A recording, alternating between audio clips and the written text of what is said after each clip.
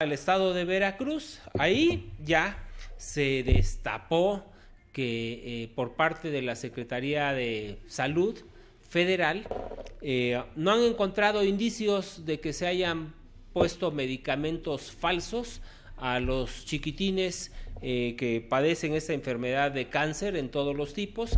Dicen que son habladas del gobernador del estado de Veracruz, Miguel Ángel Yunes. El mismo gobernador, Miguel Ángel Yunes, el día de hoy, en reunión de esta de gobernadores de la CONAGO, eh, pidió frenar gasolinazos. Bueno, ¿cuál será el tema prioritario? ¿El de la gasolina? o el de los medicamentos falsos. Vamos con Marisa López Collado, es colaboradora del periódico El Punto Crítico y colaboradora de este espacio. Ella nos tiene la información. Marisa, muy buenas tardes.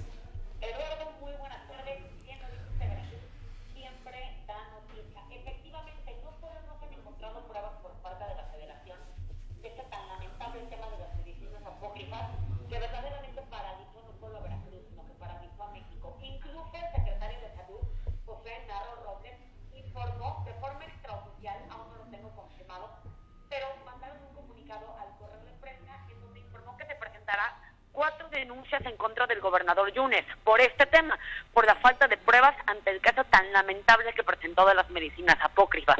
Sacudió al Estado, sacudió al país y una vez que la federación entra e interfiere en la investigación, resulta que hasta el momento no se han encontrado pruebas. No sabemos si porque se ocultaron demasiado bien, no sabemos Oye, Marisa, Marisa López Collado, pero el tío Fide ya renunció ahí a su puesto que tenía en Europa como embajador y cómo le van a reponer el daño grave que le han hecho a su imagen, preguntaría yo, ¿no? Mi, respuesta es que están pensando en contrademandar, exactamente para lo que comentas, ya renunció a un cargo que tiene eh, o que tenía en Barcelona, bien lo dices, y está por llegar al Estado no solo a limpiar su imagen, como él lo ha informado, sino también a dar batalla de regreso, porque hasta ahorita eh, son denuncias en contra que no, no, se han encontrado pruebas de parte de la federación. Está un tema bastante delicado y bastante en el limbo, le llamaría yo. Estamos completamente en el limbo los veracruzanos de no saber a quién confiar o hacia dónde voltear, porque efectivamente la federación no presenta ni una sola prueba. Bueno, que te voy a decir que Fidel, Fidel Herrera Beltrán dice que Miguel Ángel Yunes tiene una colota, pero de aquellas este, más largas que las de las ratas, ¿no?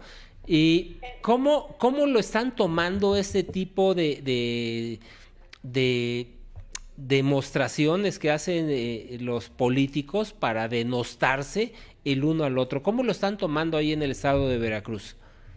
Mira, los veracruzanos perdimos por completo la capacidad de sorprendernos en las campañas, porque escuchamos argumentos de todo tipo en la guerra sucia que se dio tanto de uno como de otro. Sabemos que del gobernador se dijeron bastantes cosas como de los otros candidatos, incluyendo a los priistas, por lo que verdaderamente te lo digo y no te lo digo en tono sarcástico, se perdió la capacidad de sorpresa, en el sentido en el que todo lo que nos digan ya lo creemos, ya no nos sorprende y desgraciadamente ya no nos indigna tanto como le indigna a la gente que no vive en el Estado. Yo veo que personas que viven fuera de Veracruz tanto por temas que nosotros ya alcanzamos a ver como normales, que me recuerda la capacidad de asimilación o qué tanto nos acostumbramos ya a vivir en este ambiente tan lamentable en temas políticos, lo llamaría yo. Y al parecer ahora se cuelgan del gasolinazo, ¿no? El gasolinazo es otro tema. Por otro lado, como bien comentaste en, el principio de en esta presentación, el gobernador Yunes se reunió con el presidente Enrique Peña Nieto.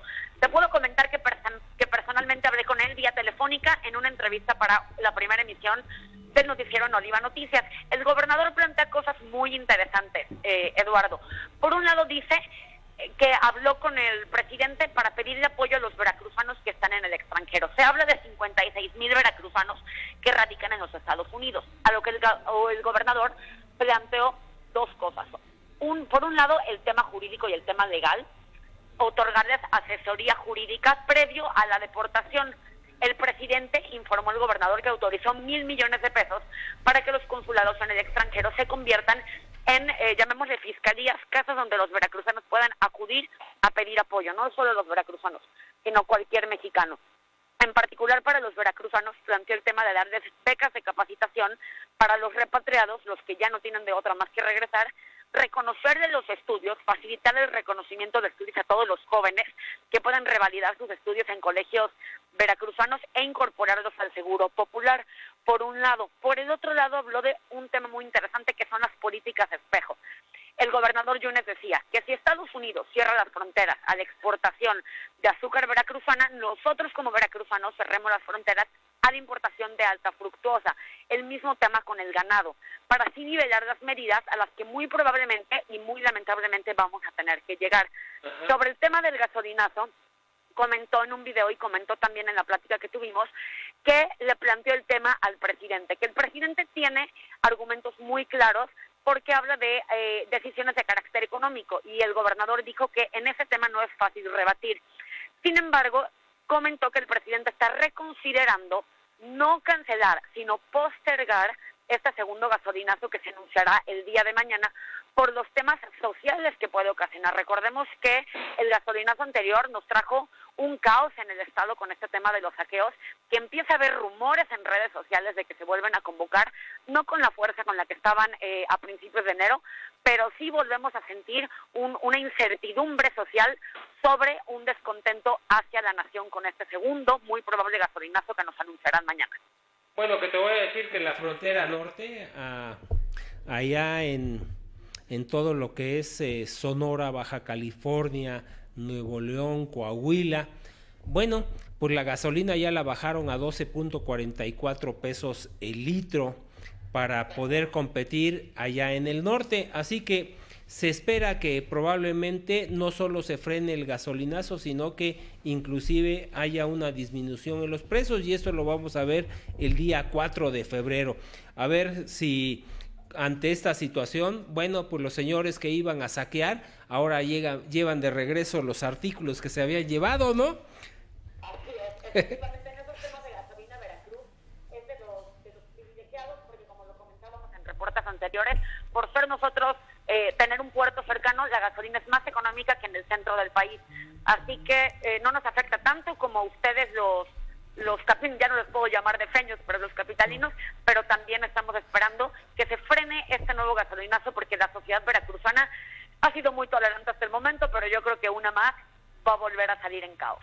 Pues muy bien, muy completa la información, Marisa López Collado. Agradezco mucho no solo la información, sino tus comentarios. Agradezco a ti el espacio, Eduardo. Un saludo a toda tu audiencia y a todo tu equipo. Estamos